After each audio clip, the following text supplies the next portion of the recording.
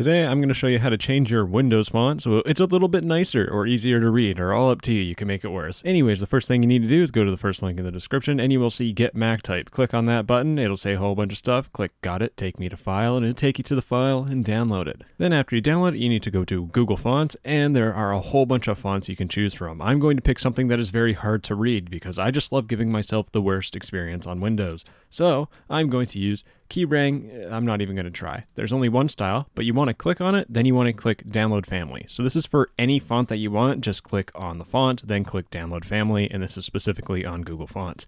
Next up, you want to open up the MacType installer, and you should see a couple of things pop up. This one first, you need to press yes, and then you finally get the installer. Press OK, press Next, press I accept the agreement, even though you didn't read it. Press Next, press Next, and press next, and next again, and next, and install. There's a lot of parts of this installer, but just go through it, then click finish, and press yes, and now it'll open up Mac type. So now you can see there's this changelog, don't worry about that at all.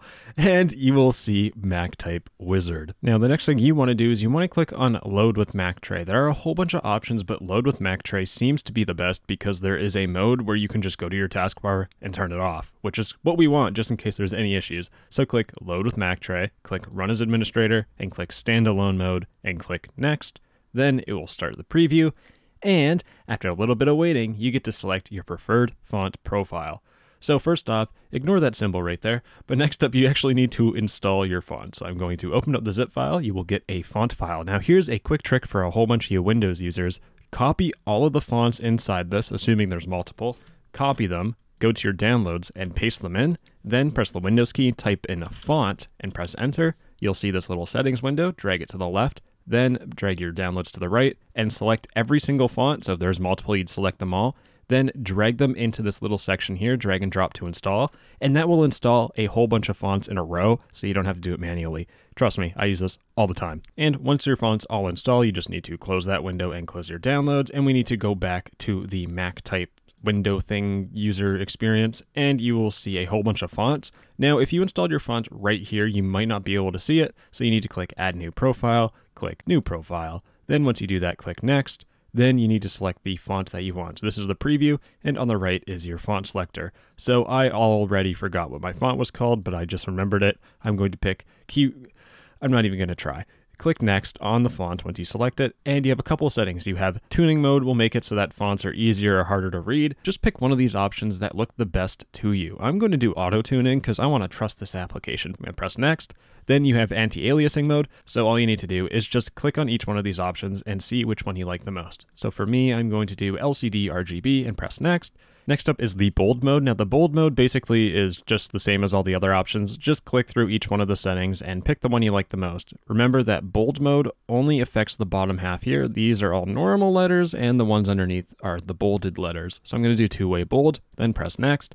And we have another option. You have tons of options for this, but all you need to do is just change these sliders. So in my case, I have adjusted the font to make it at least easier to read because I know I'm going to have to go through this at one point to uninstall it. And once you've mucked around with the sliders to make it look exactly how you want it, click next. And now we have another option. We have bold weight. So you can change the bold weight to be either more bold or less bold. Just mess around with it. And if it looks good, then press the next button. Same thing with italics. If this is too italicized for you, well, you can make it vertical. You can I'm gonna make it go to the left because that's just awful. Click next. So what like literally there there's just so many options. Just play with the sliders and press next. And if it's already perfect the way it is, then just press next. And the font shadow there's so many options in this thing. Just just uh, oh my gosh, that's awful. So I would keep font shadow to near so you don't have to see it, but I want my font to be really hard to read, so I'm to make it worse. And now we have LCD mode. So you can do optimizations to make it look better. Once again, just pick the one that you think looks the best and click next. Then you can click save. And now you need to save it as something. I'm going to call this I and press enter. Then I can press OK. Now all I need to do is just actually install and use the font. And as you notice, iPaint is hidden behind this folder. So if you have this weird little bug, just press previous, then press next and it will automatically adjust. And if you scroll down, you should find iPain or whatever you named it.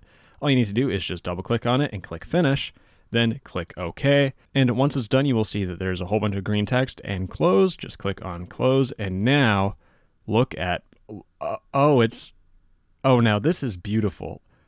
I have my new file explorer and wow, I wish I didn't have eyes.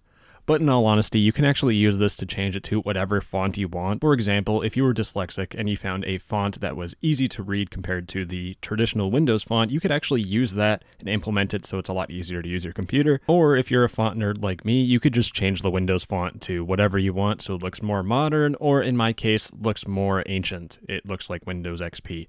Anyways, let's just say you want to stop, for example, like let's say, ah, I can't use the File Explorer, but everything else is exactly what I wanted. All you need to do is go down to your taskbar, then right click on Mac type, and you just need to click Disable. And what it will do is disable it so you can actually read what's going on. And that's really helpful if you have specific applications that just don't work with this, because that can happen. You can have incompatibilities, but just keep that in mind. Now, let's say you want to change the font to something else. All you need to do is just click on the drop down menu. The icon will change since I have it disabled. You need to right click on it, then click on Mac Type Wizard, and that will allow you to press next. Then, what it'll allow you to do is import your different fonts and stuff like normal which is nice. And let's say you have all of your fonts installed and set up and you just want to swap between two different ones. All you need to do is go down to your hidden menu bar thing, right click on Mac type, Once again, the icon's different because it's disabled. Then click on any one of the font profiles you made. So I'm going to do iOS because I think it looks nice.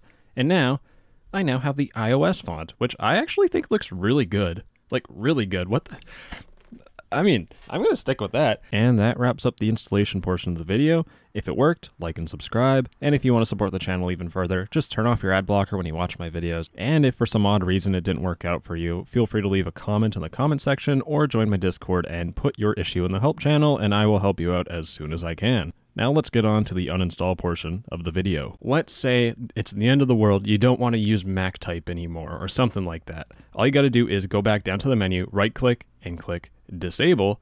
And once you disable it, it should be back to normal. And with that, you can click on the start menu, type add or remove programs and press enter, search for Mac type, click on it and click on install, press on install, press yes, then it'll say backup your profiles or whatever. You could back up your profiles if you want, but if you're uninstalling it, chances are you don't want it anymore. So press yes, it will uninstall. Then you need to restart your computer, so press yes, and by the end of it, guess what? You're going to have a normal Windows computer again with the not cool font that I made. Anyways, that's the end of the video. I'd show you that the font works exactly correctly, but I have a Windows update. So therefore, I'm going to lick a 9 volt battery and then move my way up to licking a car battery. Have a fantastic night. I love you. Mwah.